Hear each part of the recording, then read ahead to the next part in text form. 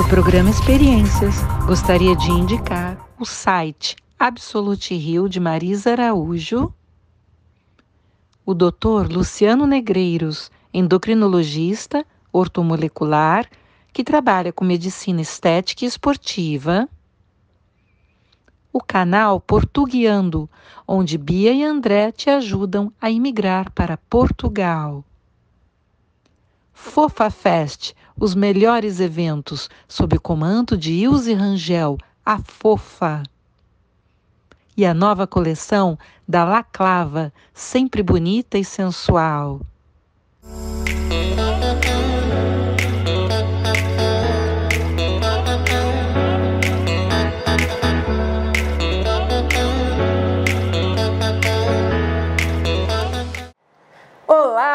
Aqui Malu Maciel com vocês novamente para o programa Experiências. E nós temos aqui hoje uma atriz muito especial. Ela está em cartaz com uma peça de Clarice Lispector, Uma Aprendizagem ou O Livro dos Prazeres. Vamos conhecer mais sobre esse trabalho lindo e um pouquinho sobre a carreira dela. Com vocês, Melise Maia. Olá, muito prazer, ouvintes do programa Experiências. Muito prazer, Malu Maciel, um prazer estar aqui com vocês. Então, eu sou uma atriz de teatro, comecei alguns anos atrás, é, fazendo faculdade de teatro, depois comecei a trabalhar profissionalmente. Depois eu fiz faculdade de teatro, a FIFIERJ, depois Unirio. E aí depois eu passei a estudar roteiro, comecei a escrever minhas próprias peças de teatro, escrevi uma série para a TV, ganhei um edital, consegui fazer uma série chamada Ribanceira, que foi ao ar no Canal Brasil. É, fiz alguns curtas-metragens também, passei pelo cinema, primeiro como atriz, mas depois como roteirista e diretora. É, ganhei alguns prêmios nacionais e internacionais com esses meus curtas-metragens. E agora, alguns anos depois, eu resolvi é, fazer a minha primeira adaptação para o teatro que é exatamente esse livro da Clarice Lispector, lindíssimo, que me arrebatou assim quando eu li. E aí a primeira coisa que eu pensei, isso dá uma peça incrível, eu quero adaptar. E aí eu fiz a minha primeira adaptação agora de uma aprendizagem ao Livro dos Prazeres, que está em cartaz aqui agora no Teatro dos Quatro, nas duas últimas semanas, tá? Sextas e sábados às 20 horas e domingos às 19 horas. Vem. No Shopping da Gávea, inclusive. No Shopping da Gávea. Shopping maravilhoso, né? Os teatros aqui são os melhores, é, né? Incrível, um prazer estar aqui. Esse teatro, então, é muito especial.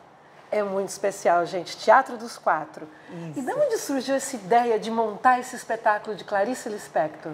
Então, é, como eu falei, quando eu li esse livro, eu fiquei assim encantada, mas eu já era uma leitora de Clarice Lispector. Desde criança eu lia Clarice e eu tinha a sensação que eu não entendia muito ela. Mas como há pouco tempo eu fui numa exposição que está tendo dela no Instituto Moreira Salles, eu pude ver um vídeo dela com uma jornalista muito interessante que ela contava, é, esclarecedor para mim, porque ela contava que um professor é, do Colégio Pedro II, se não me engano, chega para ela e pergunta se é, não e conta para ela que ele já tinha lido Paixão segundo GH, que é um livro conhecidíssimo dela. É, ele tinha lido cinco vezes. Aí ela, ela fala, então você adorou? Ele falou assim, não, eu não entendi nada. E aí, em seguida, vem uma aluna, uma jovenzinha, e fala para ela que Paixão Segundo GH era o livro dela de cabeceira. Olha. Então, de onde ela conclui para o jornalista é, que os livros dela não são para entender, são para sentir. Ah. E aquilo foi muito esclarecedor para mim também, né? Porque o jornalista começa falando, dizem que os seus textos são difíceis e tal. É. O que, que você acha disso? O que, que você tem a dizer sobre isso? E ela conta essa história, né? Quer dizer, ela, ela, ela falou, não, meus textos não são difíceis. E aí ela cita essa experiência que ela teve, né? E aí, no, no, no final, ela conclui isso, né? Meus livros é, não são para se entender, eles são é, para sentir. Para sentir. E aí me respondeu uma pergunta que eu sempre tive, né? Assim, calada lá dentro de mim, que era... Eu lia tanto e eu tinha a sensação que eu não entendia. Será que eu não entendia? E aí eu pensei, eu podia até não entender, mas eu sentia, né? Olha, e a peça dela, que eu já vi assistir. Ai, que legal. Adorei. Muito obrigada. A peça dela que ela está fazendo agora, né, que é o livro dos prazeres, né? Uhum. Quer dizer, chama-se Uma Aprendizagem ou o livro dos prazeres. Exatamente. Mas eu prefiro o livro dos prazeres. É, nós também preferimos o livro dos prazeres, né? Eu acho que fica mais instigante, né? Fica. Assim, acho que as pessoas. O livro dos prazeres, é, que será? quero né? ver o que, que tem é. ali. E é uma história de amor linda, né? O que também É. me levou a fazer, porque assim. Por coincidência, né, a gente mais do que nunca está precisando falar de amor, né? Tá, Mais, do, que, nunca. Chega de ódio. A gente está precisando de falar de amor. Mas antes da gente estar nessa situação, desse desgoverno, disso tudo que a gente está passando, muito antes disso, você vê, é, eu tive acesso a esse livro em 2010, mais ou menos, e eu comecei a preparar essa adaptação em 2013. Olha. Então você imagina, mas é porque por que, só foi feita agora? Porque aí eu ganhei esse edital para uma série de TV, como eu tinha falado, né? E aí eu não estava esperando, eu estava concorrendo, não estava esperando ganhar. De repente você ganhou. Olha, e aí eu que tinha legal. que escrever 13 episódios, dirigir, colocar no ar, escalar, era muita coisa. Então É, isso que... leva tempo, né? Nossa, aí eu tive que parar para fazer isso. Aí quando eu retomei em 2018, que comecei a formar equipe tudo, aí de repente vamos, a primeira equipe não deu certo, muda de equipe. E aí quando vai para a segunda equipe, que a gente, aí vamos descolar a pauta, vamos nisso, vamos aquilo, vem a pandemia. É.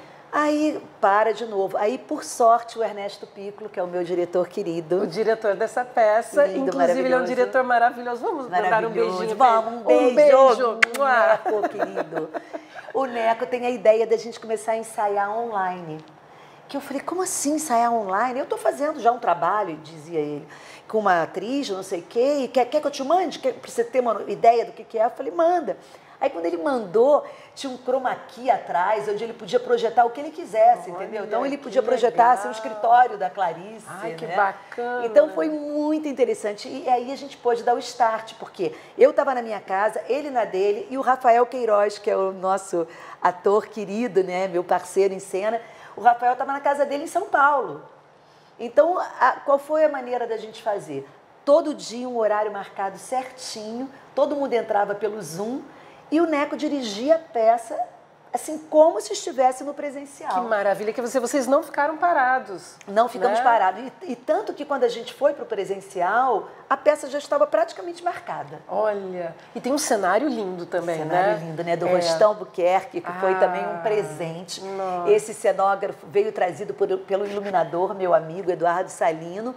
E quando ele falou, quando ele trouxe o rapaz, que eu falei para ele como que eu achava mais ou menos, como que eu via, ah, pensava nesse cenário e tal. Aí ele foi para casa pensar e quando ele voltou com um, croqui do cenário, o Ernesto chorou. Ele foi às lágrimas, assim, porque realmente o cenário dele é muito bonito. É né? muito bonito. Ele pegou, assim, a alma da Clarice, eu acho, É, sabe? pegou. E também teve uma coisa muito interessante nesse processo, que foi a chamada do nosso diretor musical, que eu não sei se você sabe, que é o Edu Lobo, né? Olha, o Edu Sim, Lobo. senhora. O Edu Lobo, ele, o, o Neco, o Ernesto Piccolo, já tinha dirigido um show do Edu no Canecão há anos atrás.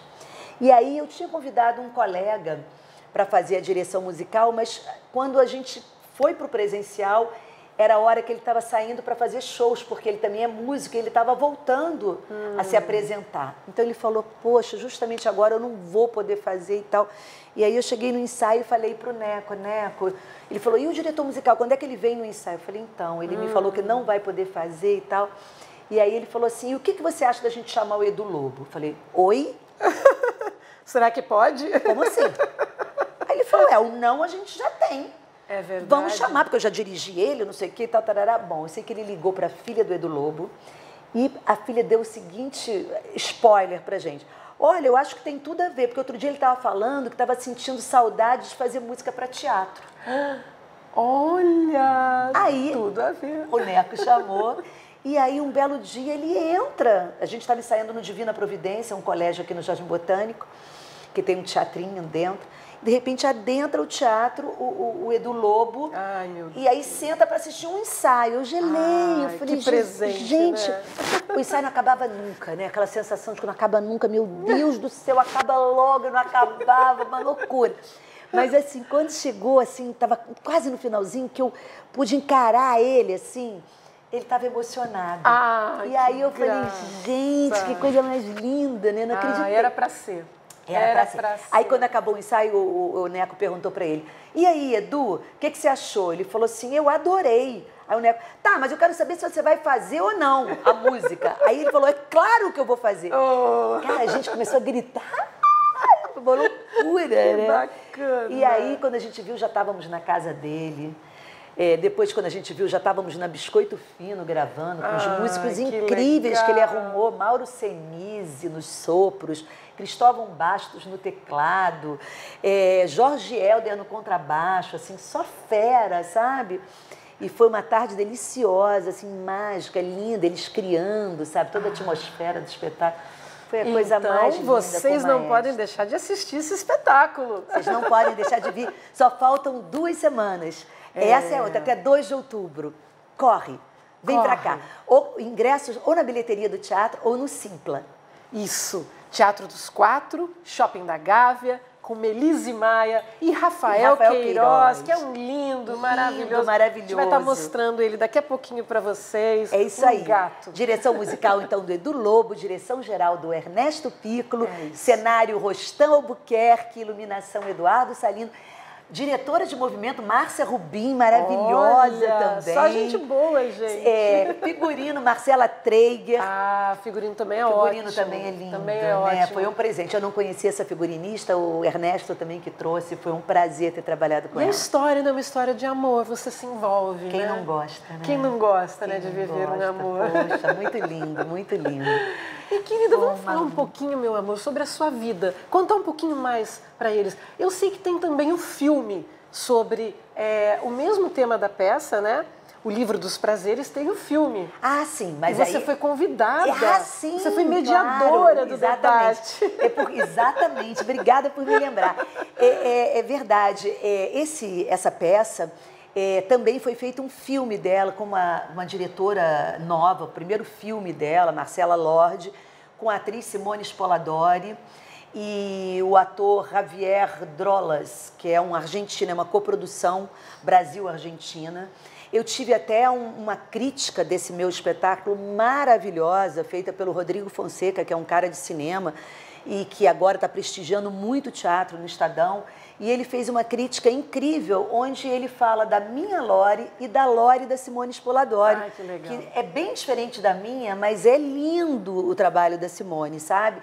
E agora, recentemente, eu fui convidada pela Vitrine Filmes para fazer a mediação numa sessão que teve há dois dias atrás no Estação Net Rio. Uhum. É. Porque eu já tinha assistido o filme dela no Festival do Rio, mas aí agora eu fui surpreendida com esse convite Que maravilha, da? Vitrine Filmes para ser mediadora do, Do debate. do debate. E foi lindo porque estava cheio e as pessoas ficaram muito interessadas. E, para minha surpresa, a maioria dos espectadores eram leitores de Clarice, o que é um Ai, que alento para a gente saber que as pessoas estão lendo Tão Clarice, lendo que Clarice, as né? pessoas estão procurando né, é, esse tipo de, de, de espetáculo, de leitura. Né? Então, eu fiquei muito feliz, foi riquíssima o debate que foi feito lá. Ai, foi uma honra para mim, né? Uma honra Nossa, e aí eu queria dividir isso com os nossos telespectadores, porque eu É achei verdade. muito legal. Por isso, assistam contou. o filme também, porque assim como o teatro precisa do público para ele se manter, né? E cada vez está mais difícil, a gente não tem patrocínio. A mesma É. coisa eles. O cinema, para se manter, ele precisa do público. Porque senão, se não, se não tiver público, eles tiram o filme de cartaz. Pois é. Sabe? É É, assim. tudo tem que então a gente tem público. que prestigiar o cinema nacional, a gente tem que prestigiar uma escritora brasileira, É. sabe? Então a Clarice é uma das escritoras mais importantes do século XX. Então Exatamente. vamos prestigiar o teatro, vamos prestigiar o cinema, o livro dos prazeres, agora em duas versões em cartaz ao mesmo tempo, no cinema Exatamente. e, E no, no teatro, teatro. dos quatro. Com Melise Maia, Rafael Queiroz, Teatro dos Quatro, Shopping da Gávea, eu recomendo. Obrigada, minha querida. Eu que agradeço, Muito meu obrigada. amor. Muito obrigada também. E um beijo a todas as pessoas aí do programa Experiências, tá? Meu nome é Melise Maia, eu me despeço com muito carinho, dando um beijo bem grande para vocês e reforçando a vinda de vocês aqui para o Teatro dos Quatro, sextas e sábados às 20 horas e domingo às 19 horas, até dia 2 de outubro. E agora nós estamos aqui com o Rafael Queiroz, que também está na peça O Livro dos Prazeres. Bem-vindo, Rafael! Ah, muito obrigado, é um prazer imenso estar aqui com você, fazer esse bate-papo aí com essa turma maravilhosa. Ah, é um prazer ter você aqui no nosso programa, querido. Bem-vindo. Prazer viu? é todo meu ter vocês aqui. Ah, Delícia. que bacana! E me fala um pouquinho sobre esse trabalho que você está fazendo com a Melise Maia, que acabou de conversar com a gente, né? Como é que é fazer Clarice Lispector? Ah, foi um trabalho muito especial. A gente começou esse trabalho um, um pouco antes da pandemia. Foi um trabalho que a gente teve muito estudo, porque a gente fez um trabalho online. E a Clarice leva a gente para uma série de lugares, nada é exato, né? Então, assim, é, é, vai da, dessa, dessa, da maneira com que o diretor vai conduzindo. E o Ernesto Piccolo conduziu de maneira brilhante. E é muito gostoso estar em cena, poder fazer Ulisses, junto com a Melise, que é minha parceira. Ela que fez esse projeto todo, idealizou, então assim, é incrível, assim. Então foi realmente muito gostoso. E um processo bacana, sabe? Pessoa, uhum. todo mundo que estava envolvido, as pessoas foram chegando de uma maneira muito especial. O Rostan, que faz o cenário, chegou, entrou, fez um cenário que, que o Ernesto até se emocionou é. na época. É, o, o, Salino veio com uma luz incrível, cheia de, de, de detalhes, enfim. As pessoas que foram entrando foram entrando de uma maneira muito interessante. Assim, que o bacana. projeto foi ganhando estofo. É, a Melise acabou de falar isso pra gente. Inclusive, é. ela contou a história, né? É. Da entrada do Edu Lobo. O Edu Lobo, é, nosso que diretor bacana, musical. Né? Que, meu Deus do céu. Que bacana. Quando a gente. É, meu Deus, o Edu, eu tava lá na plateia assistindo gente no ensaio. Eu falei, ai meu Deus. Que bacana. E ele adorou e falou, não, quero musicar. E chamou três músicos maravilhosos. E fizeram essa trilha linda que eu amo. Que maravilha! Vocês não podem deixar de assistir o Livro dos Prazeres. Tem dois nomes, né? A Aprendizagem ou o Livro dos Prazeres. Exatamente. Mas eu falei que eu prefiro o Livro dos Prazeres. O Livro dos Prazeres eu também gosto. O Livro dos Prazeres é, é mais chamativo, mais, mais chamativo, comercial né? e deixa aberto para qualquer entendimento. Para imaginação. Né? Exatamente. Acho que isso é maravilhoso. E a gente está no Teatro dos Quatro até dia 2. Esperamos a presença de vocês. E Shopping assim, da Gávea. Shopping da Gávea. É assim que a gente vai resistindo. O teatro precisa de vocês, não só aqui, mas em todas as salas. É, a gente falou também do filme. É, que tem o filme também, o, filme. o, Livro dos Prazeres. A gente é que vai ser lançado agora também, né? Também. É, aqui, ele já passou pelo Festival do Rio, mas agora ele volta e lança e entra no cinema. É isso aí. E você, além desse trabalho lindo que você está fazendo, porque eu já vim assistir o Rafael, adorei ah, com a Melise. É. Mas além desse trabalho lindo, querido, você tem uma história, uma carreira maravilhosa, inclusive na televisão. É. Você fez, eu vi, eu assisti você na Rede Record é. e na Rede Globo. Conta um pouquinho para o pessoal da sua trajetória. É, eu cheguei há 13 anos atrás, vim fazer teatro junto com Silvinho Guindani, que eu amo, na Casa Dramaturgia Carioca. Fui muito bem recebido e comecei a fazer muito teatro. E a televisão foi abrindo as portas aos poucos, né? As pessoas vão conhecendo, vão chamando. E aí comecei a fazer muita coisa na Record Fiz algumas novelas, as últimas lá que eu fiz foi Dez Mandamentos, depois teve é, A Terra Prometida e Gênesis. E na Rede Globo, antes da pandemia, eu estava eu tava lá, na, a dona do pedaço, fazendo o Rael, que era o assassino da Maria da Paz. Olha, o assassino! É, também foi um trabalho lindíssimo, um texto maravilhoso escrito pelo Valci Carrasco, direção Nossa, da Mora Valcir é Malte. é maravilhoso. Né? Gente, a Todos Mora os Malte, nossos diretores, assim, é incrível, foi incrível, realmente é um trabalho muito bonito. Minhas parceiras de cena eram, eram Débora Evelyn, que, que, eu, que eu fiz um par romântico, depois a Natália Dill, então assim... É Nossa, é, só fera, É, né? só fera, foi um, um, aprendizado, assim, trabalhar com essa galera, e foi maravilhoso. E aí sim a gente vai fazer o nosso caminho. Agora também a gente está estreando, eu estou estreando um espetáculo no Oi Futuro, dia 13 de outubro, estou ensaiando junto com aqui, tá uma loucura. Ah, vamos contar pro pessoal. Aonde é, que você vai estar em cartaz? 13 de outubro a 20 de novembro, no Oi Futuro, de quinta a domingo, com órfãos. É, eu, Enani Moraes, Lucas Drummond é, direção de Fernando Filber. Então, assim, realmente vai ser também bombástico. Não perca. Acabou aqui. Não perca. Tem para onde é, ir. assiste essa e corre para lá. Exatamente. Nos encontramos no palco. E você também pode ser visto na Globo Play e agora, em breve, na TV aberta, com Verdades Secretas 2. Perfeitamente. Fiz junto lá, fazia o médico da, da, da Camila da, do filho da Camila, né? Uhum. Que tinha um problema com câncer. Sim. Enfim, a gente teve essa trajetória dele aí. É, do Valcir Carrasco do Valcir também. Carrasco também. Que é um grande Carrasco. autor. Os Eu fiz um texto do Valcir Carrasco em 2000, ah, enfim, minha cabeça é péssima, mas acho que uns 6, 7 anos atrás, chamava Êxtase. Uhum. É um texto que foi feito pela Rosane Goffman, pelo, pelo, pelo, ai meu Deus do céu, enfim, Êxtase eu fiz. e eu fiz no teatro um texto maravilhoso, só que era pesadíssimo, mas assim, foi uma crítica muito boa.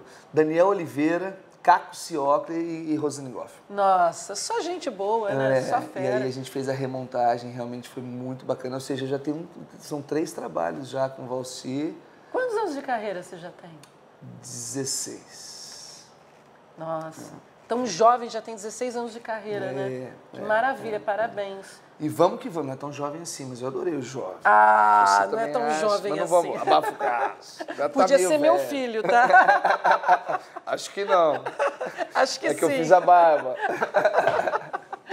Mas se vocês quiserem ver essa simpatia pessoalmente, Shopping da Gávea, Teatro dos Quatro, com essa peça a aprendizagem ou o livro dos prazeres. Ele e Melise Maia, uma história romântica, linda, que vai te envolver um, uma peça linda de Clarice Lispector. Eu indico. Né, Viva né, o amor! E muito obrigado pela sua presença, Rafael Queiroz, ah, no programa Experiências. Obrigado vocês. Foi, foi uma experiência estar com vocês aqui. Obrigado a vocês. Foi um prazer. E, gente, não percam toda quarta-feira, 19 horas, pelo YouTube de Malu Maciel, o programa Experiências. E toda quinta-feira pelo canal 6 da NET, meia-noite. E também na sexta-feira nós temos, também à meia-noite, no mesmo canal, canal 6 da NET, Fernando Resque e Cida Moraes. E na terça-feira nós temos o Circuito Carioca com Max Figueiredo, o nosso amigo Max Figueiredo. Max Figueiredo, que eu amo. É, que nós adoramos.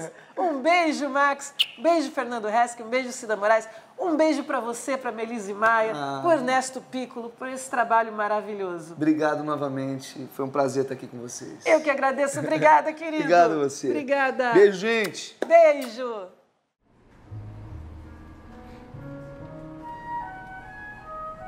Tá vendo aquela mulher ali? A de maiô vermelho? Aham. Uhum. Percebe como ela tem orgulho do corpo dela? Sim, bom para ela. Bom para ela mesmo. Já você, além de esconder a alma, tem vergonha de ter um corpo. Olá, amigos do programa Experiências com Malu Maciel. Eu quero indicar essa peça maravilhosa, Uma Aprendizagem ou Livro dos Prazeres, de Clarice Lispector, com os maravilhosos Melise Maia e Rafael Queiroz, no Teatro dos Quatro, Shopping da Gávea. Não percam!